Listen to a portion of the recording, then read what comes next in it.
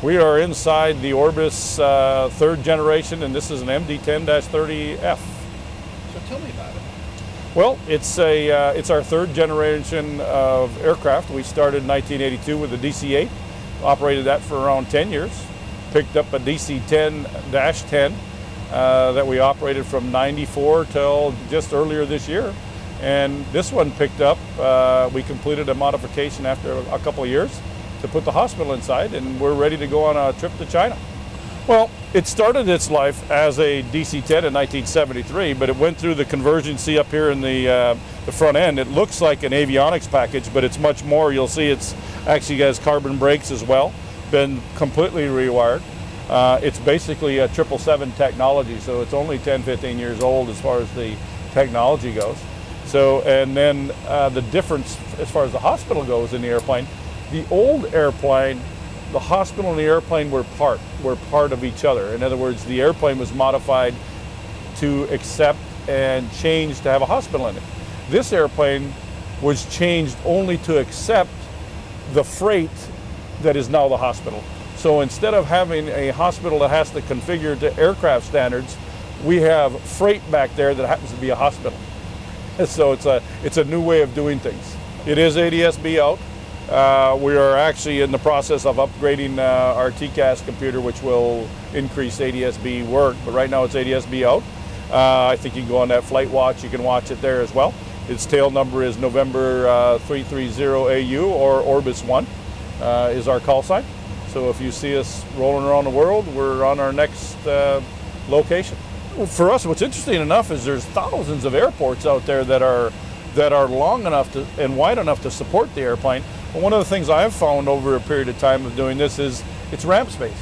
A lot of these countries will have concrete runways, but very, very limited parking space. So it's trying to find a parking space to park something this big and still not affect the local operations at that airport.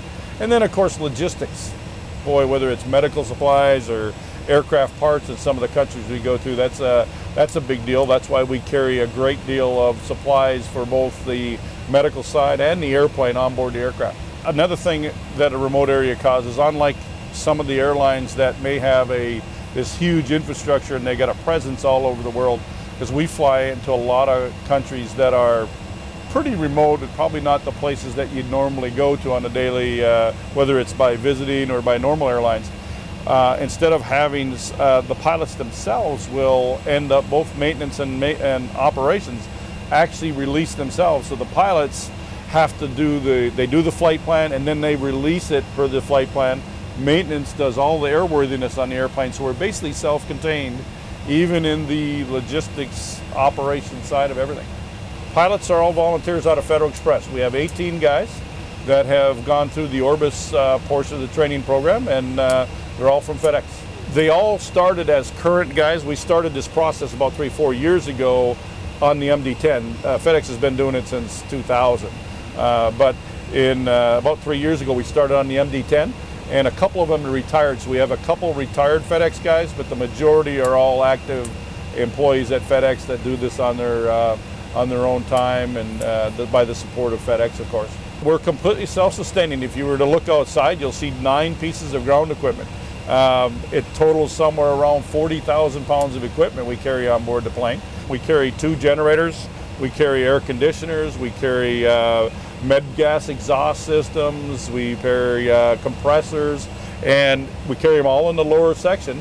And we even burn the fuel. If you look here at uh, this indicator here, you'll see the green indicator. We've got our number two fuel pump is pumping fuel, Jet A, down to our generators on the ground. So we're completely self-sustaining. We don't even need to ask for diesel fuel.